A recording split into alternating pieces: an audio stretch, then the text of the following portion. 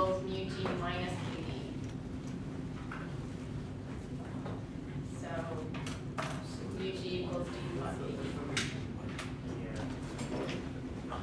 What's, essentially, what is the dilution rate? What's its significance? F over B. Yeah, but physically. It's basically how fast the, like, uh, let's see, if you had F of It's like, it's, it's, uh, ten liters per hour and B of ten liters, E equals one hour inverse, right? So that's saying in one hour, the complete volume has been diluted. So it's been replaced within one hour. Total volume is reversed. Obviously, it's not, I mean, in a CSTR, you're still gonna have some that are still floating around forever and some that have gone through very quickly because of the distillation. So why doesn't this G factor into your G net? So, Yeah, so it does, D equals mu G minus, sorry, uh, isn't G equal? wait a second, I wanna make sure I don't get it the wrong way around. Mu, D equals U nav equals U G minus KD. No, no. Mu no. net. I have it right here. U G is equal to D plus KG. that's mine. Mu G, It's definitely U G minus KD. yeah, so it has to be, mu net has to equal D, right? Where's mu m in all this? That's your maximum, that's in your, uh, Monod kinetics. Yeah, So when you do mu G. uh,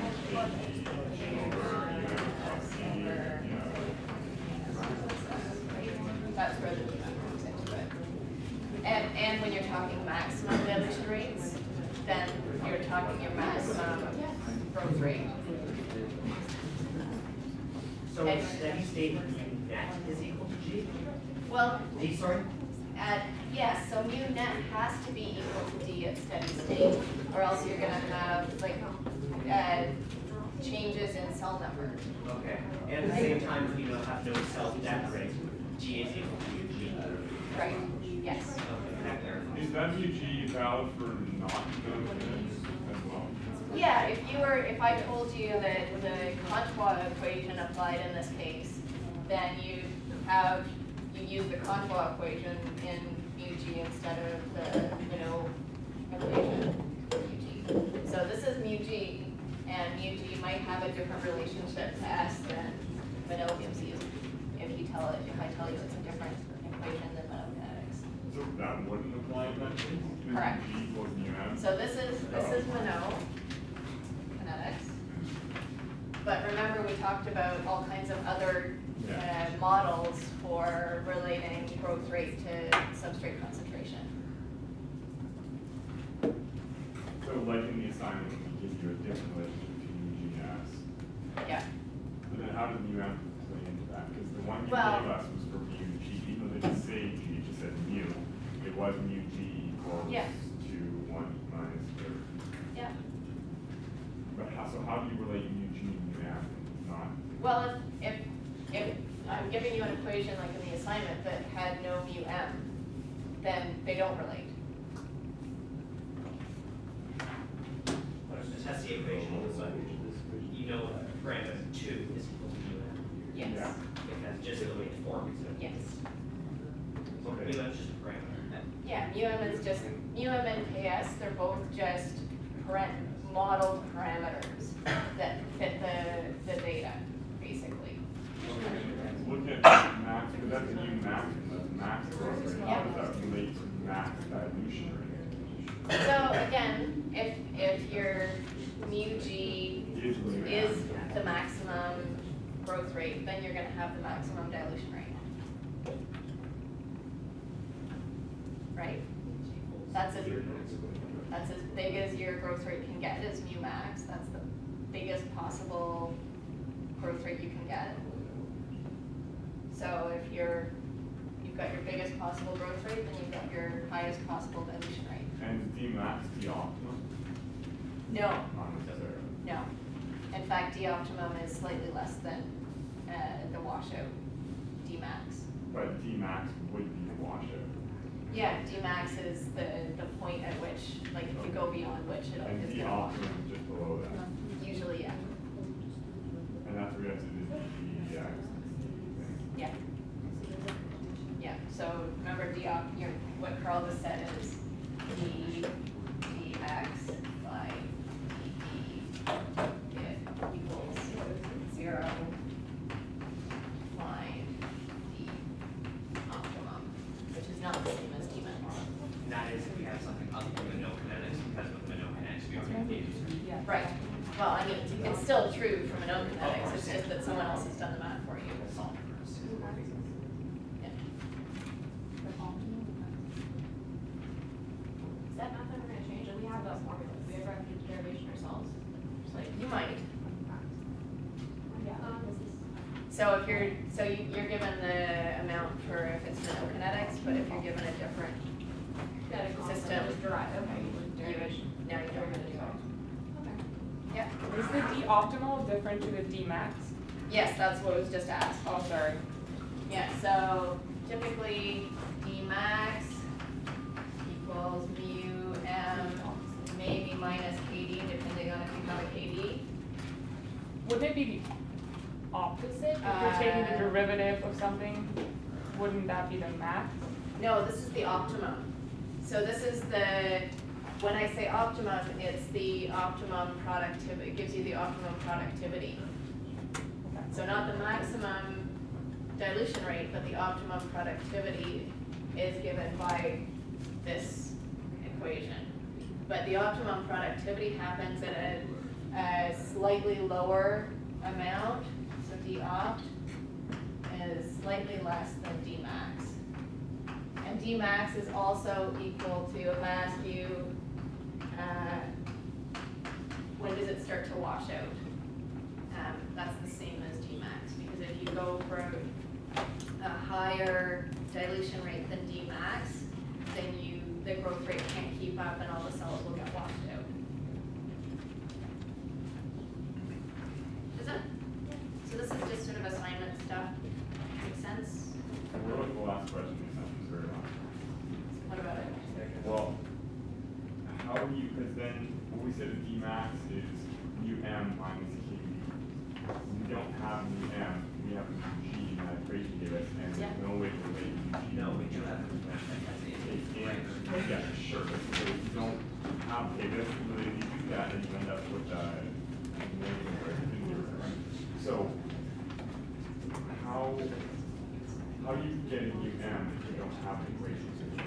I- Is it, is it, can you derive it from other numbers, or do you have to just like, have something? You have it, you have it, so, um, like Ryan said, it's the Tessier equation, so if you look at the structure of the Yeah, Tessier so if you equation. do that, then you get infinite numbers. I just figured I'd wrong there. We have this for fun.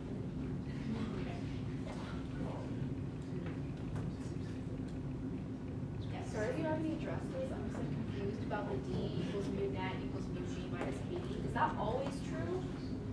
So, this, in steady state, must be true.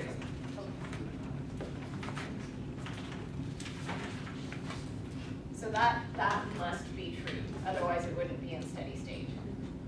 So it's, it's required that if your, because if your dilution rate doesn't equal your growth rate, then either you're having cells accumulate or you're having cells disappear. So we never have to deal with the non-steady state? Not in this course. Okay, cool. Not in this course. So in real life, The mu g minus KD part? So mu net is, is typically mu g minus kd. Yeah, and in some cases, you're told that kd is zero, don't have to worry about the kd. Okay, any other questions, sort of background stuff?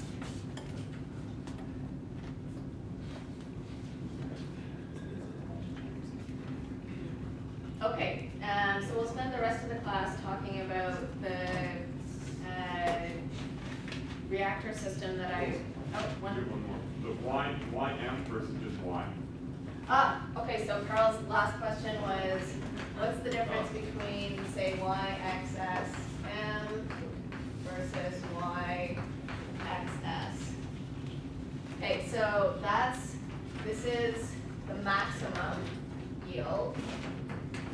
And that's unchanging. So that's just a factor of the cells and the substrate. So if you have these cells and this substrate, your y x s maximum is a constant. It's a parameter of the culture. Um, y x s is uh, sometimes also called y x s apparent, which is your measured yield. So they're measured yield, so that's how many you actually got for how much substrate you actually put in. And that will change depending on your culture conditions. So you remember, we also did those derivations where we figured out how much was going into metabolism versus, or, or death, versus how much was, so the apparent has a contribution from the maximum and from the death. right?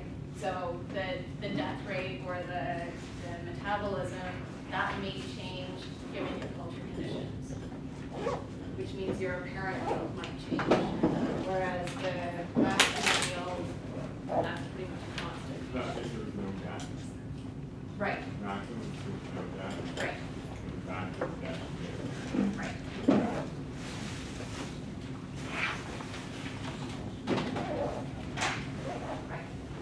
Is there a rate for that? Yes, there is, it's in your notes. It's, uh, I think it's one over y, uh, apparent equals one over y x s m plus k d over. I can't remember the exact, I don't wanna get it wrong, but if Ryan's going back in his notes for me, awesome. I don't have the notes on me, that's why. It's in here somewhere. Yeah, um, but you do have the equation that relates the two.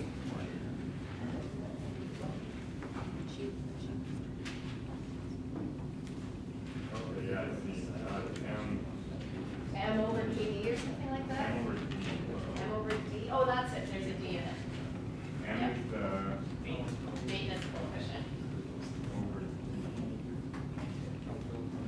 Okay, now. And you, we, we did derive in class that relationship. Any other questions?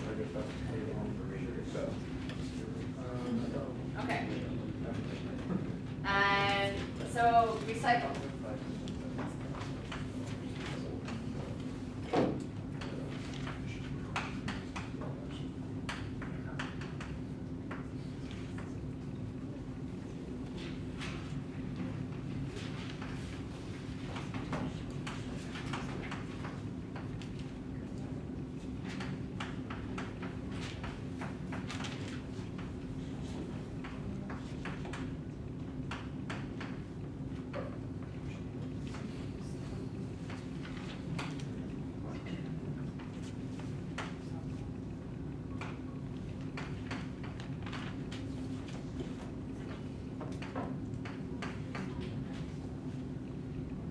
Okay, so, uh, la- at the end of last class, we brought up the concept of bioreactors with cell recycle.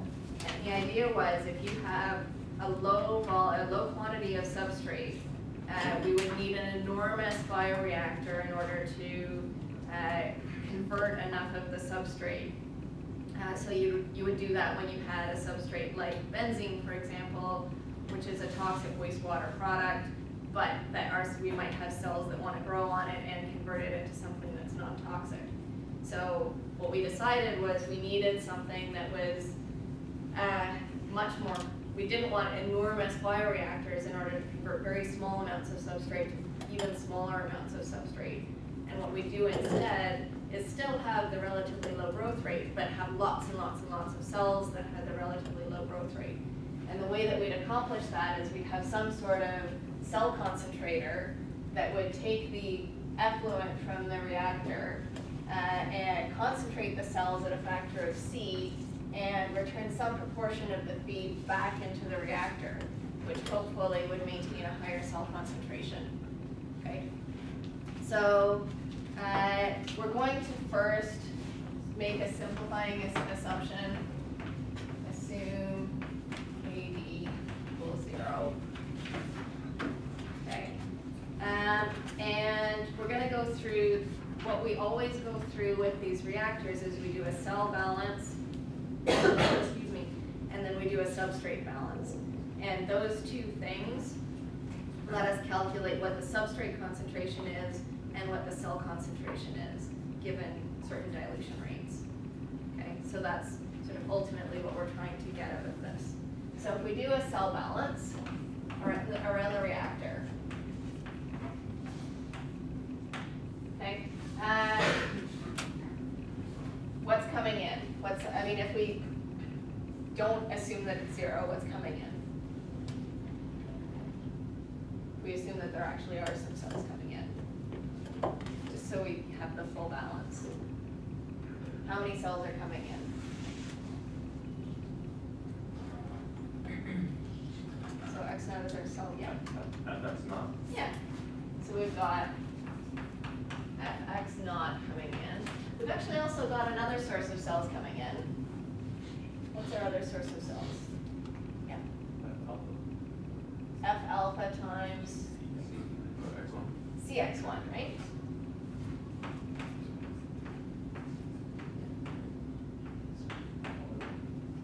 Okay, because this is, the concentration of X one is C times X one, because that's our concentration factor. And then the amount of getting recycled is alpha times F. Okay, so that's how much cells are coming in. How many cells are leaving? Same concept. CC? One plus alpha F times X one. Yeah, so minus one plus alpha F times X one.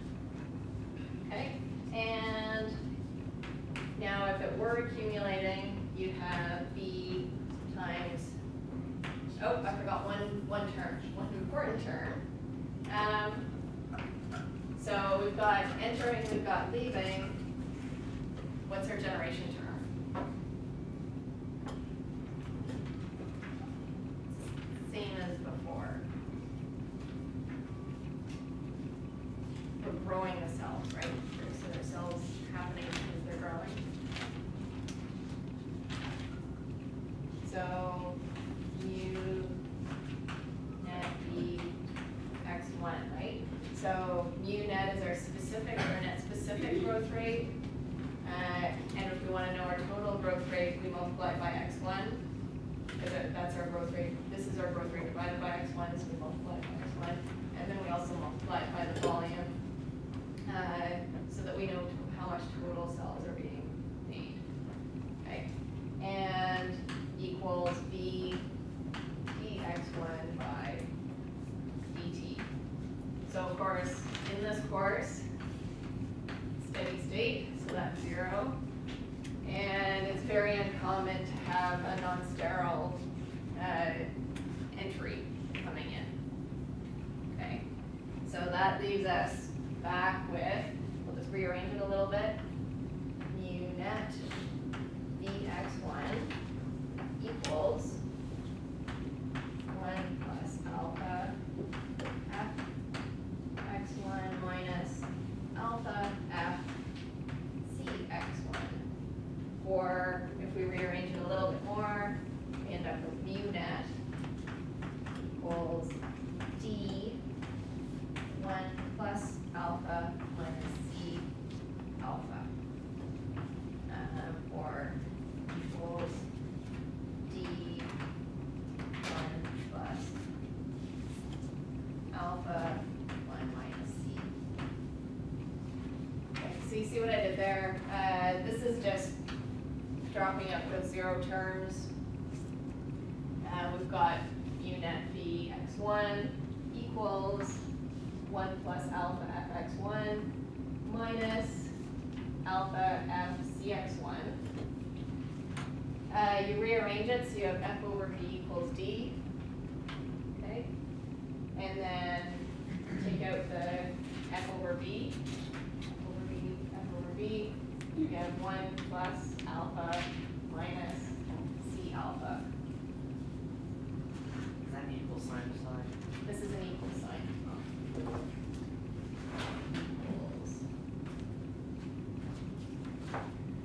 That's just a slight additional rearrangement.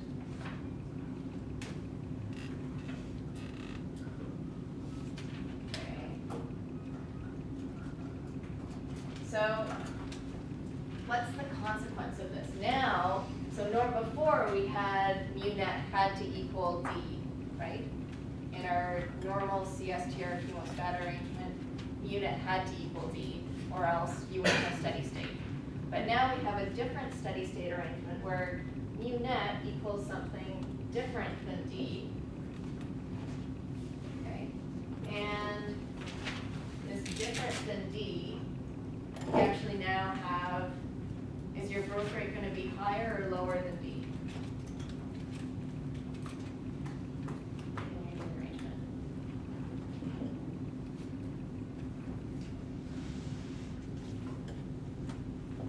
So C is typically bigger than one. Alpha is between zero and one.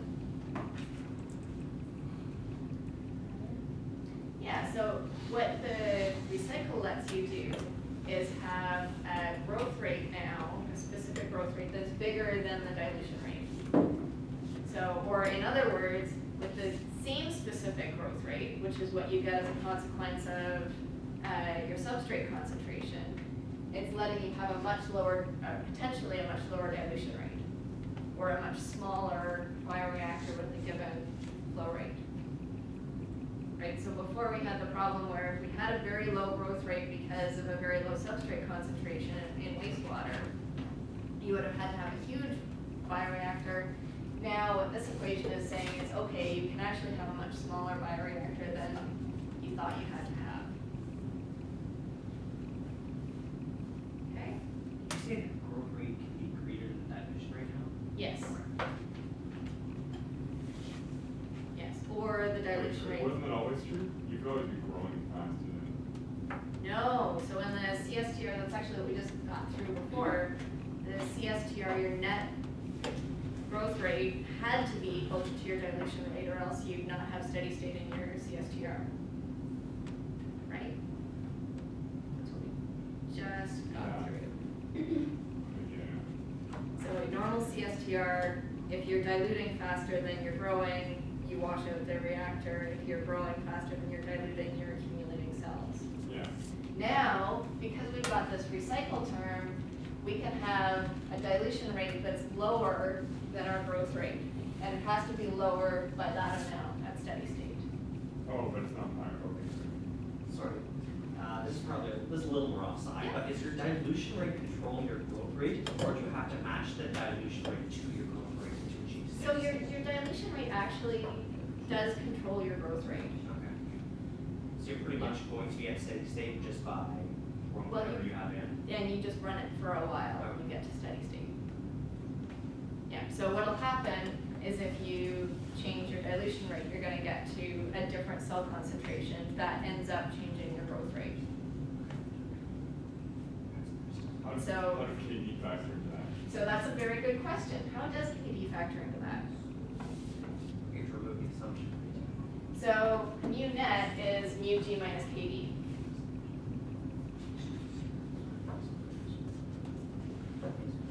Right? So here, if you were just looking for what mu G is, it would be mu G equals that. Yeah. Yeah. Um, the, the assumption was that KD was zero. So we assumed, I actually, because I was gonna actually ask the question, what happens if we have a KD? That's why I left the mu net in here. Um, if Kd is zero, we actually could have written that just as mu g. So with that assumption, that actually means mu net equals mu g. And so down here we could just say mu g equals all that. But yeah, I did want you to think about what happened.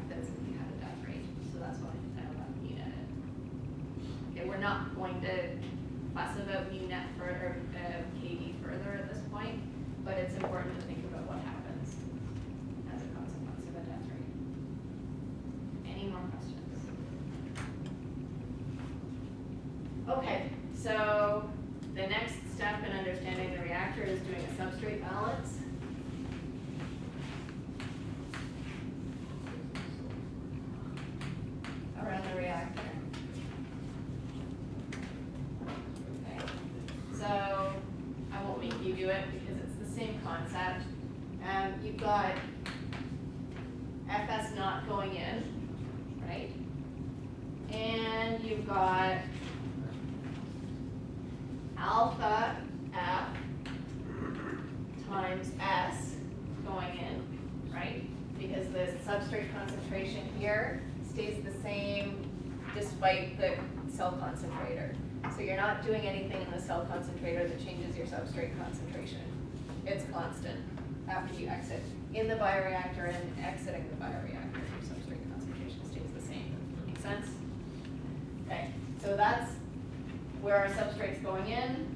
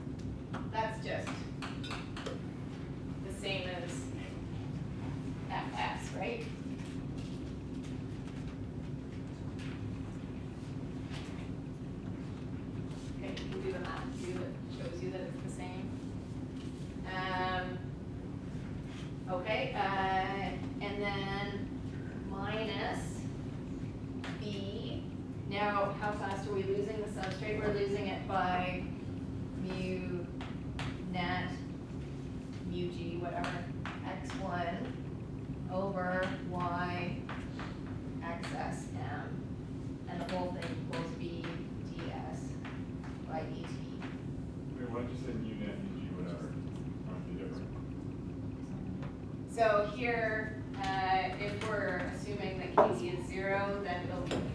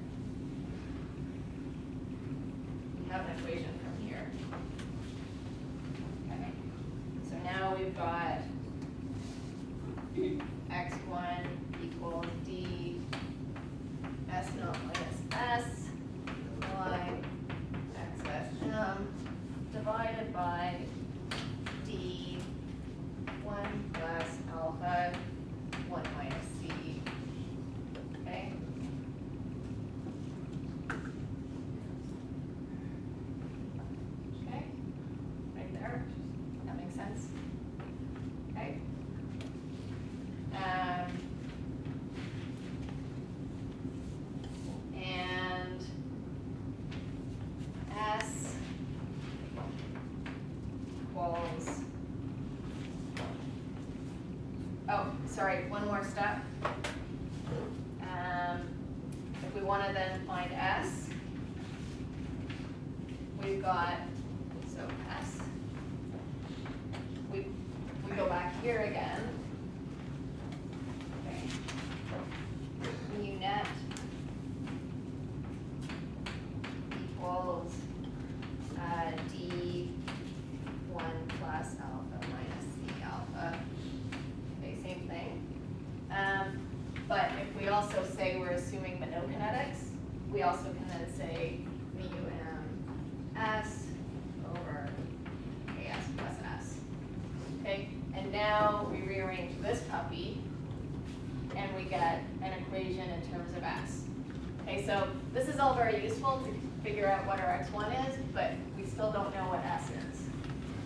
actually want to know what x1 is, we need to be able to figure out what s is, right?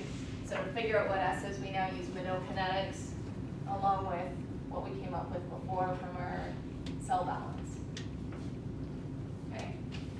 And then what that gives us is S equals KSD 1 plus alpha minus alpha C over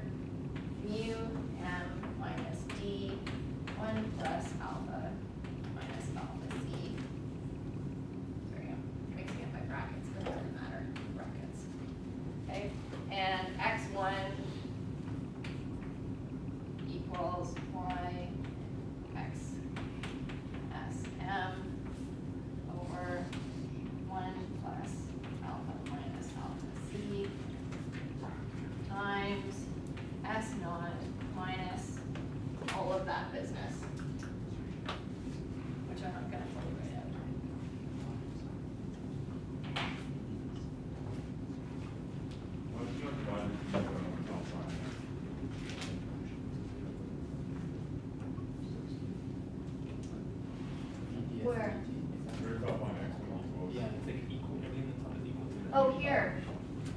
Yeah. Um, you do. You absolutely do.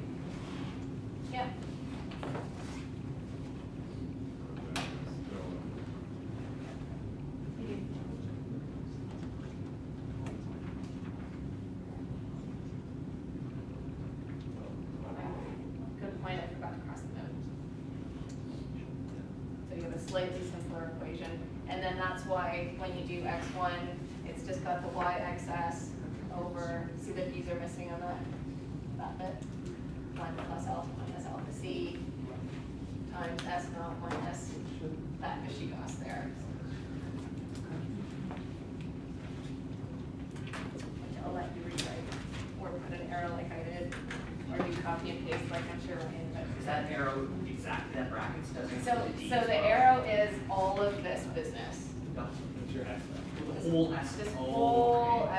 value because the equation is telling you x1 equals yxs over 1 plus alpha minus alpha c times s naught minus s.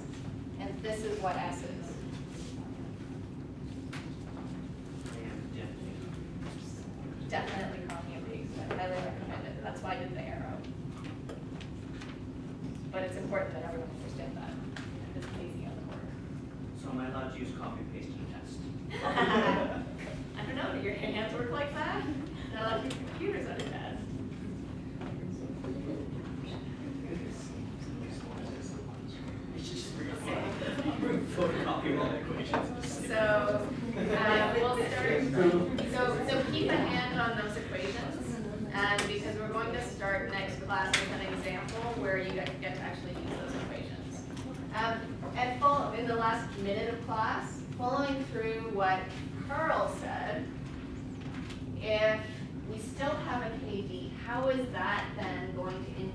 your ass and your X. Of the.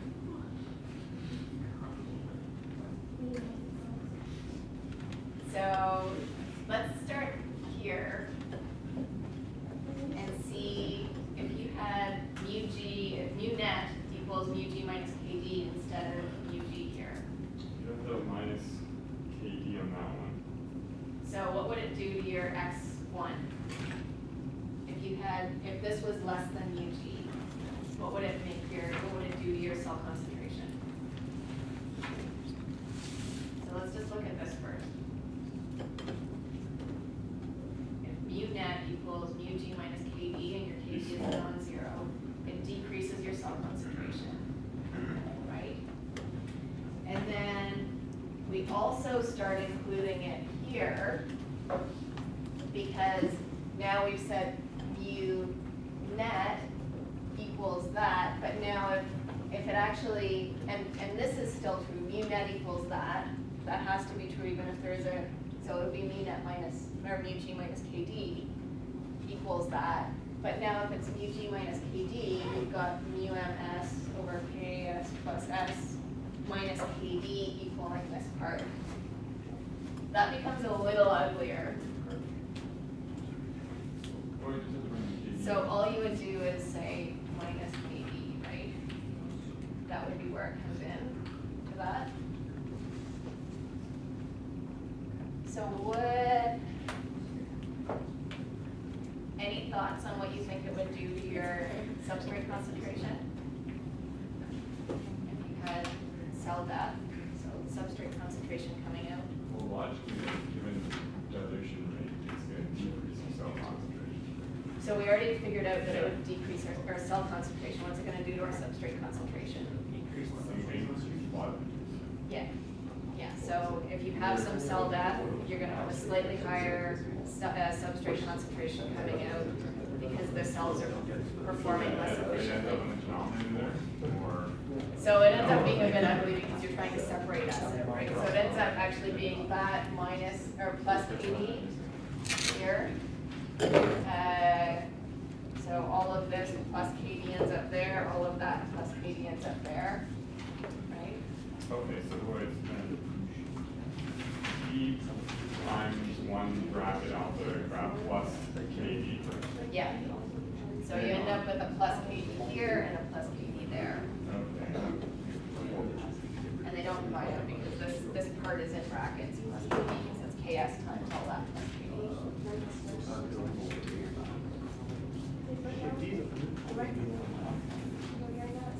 So the plus KD on the top actually has a slightly higher influence on the plus KD.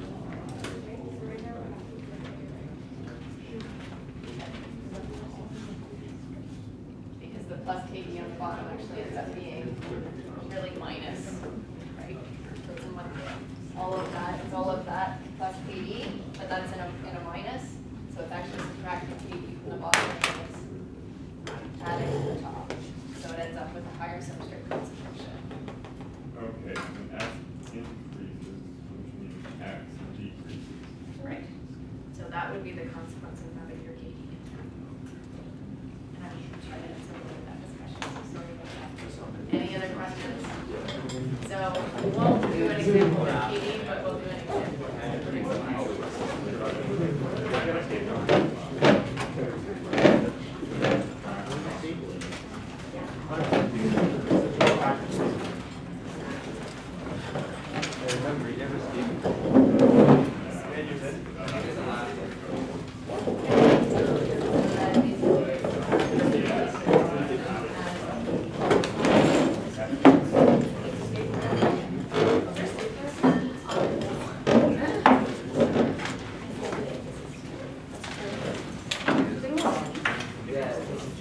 Oh, yeah, if anyone wants to hand their assignment in, I can take it. Do it for, uh, for each time, but we'll take for me. Oh, for me. Just read it now. It's all fermenting, I got it out. It's actually kind of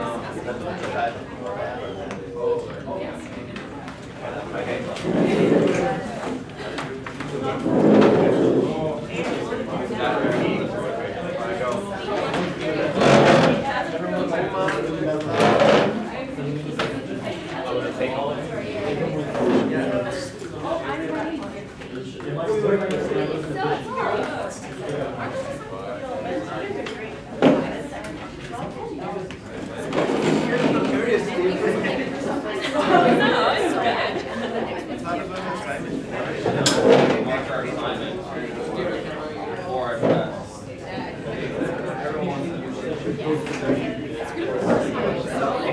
I don't care, I do There's a lot more, there's a lot more little things. To be honest, I don't know. When he was doing surgery, I think that's why.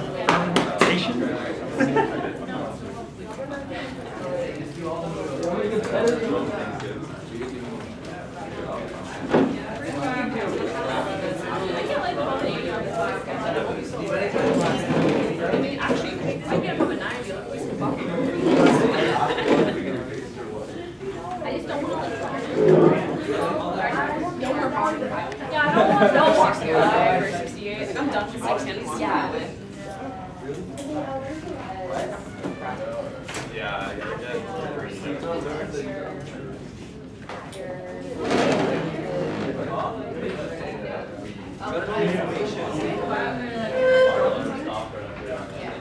Ryan, is today coming to drop-in center? We have this for the next two hours. I was in here. And I have got, I've got your announcement about that. So I will post Really? this. It's a really good thing. What is it? Are you going Uh, the department's providing us food and coffee. For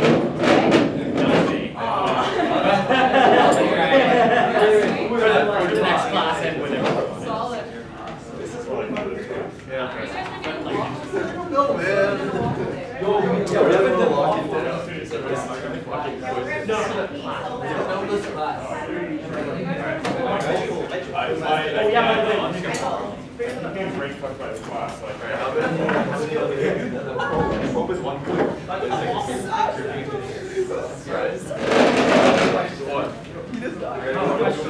Or you can stay here.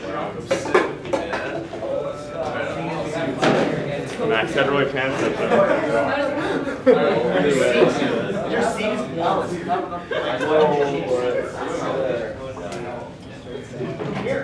Mondays are awesome because I don't keep getting for five hours. I have another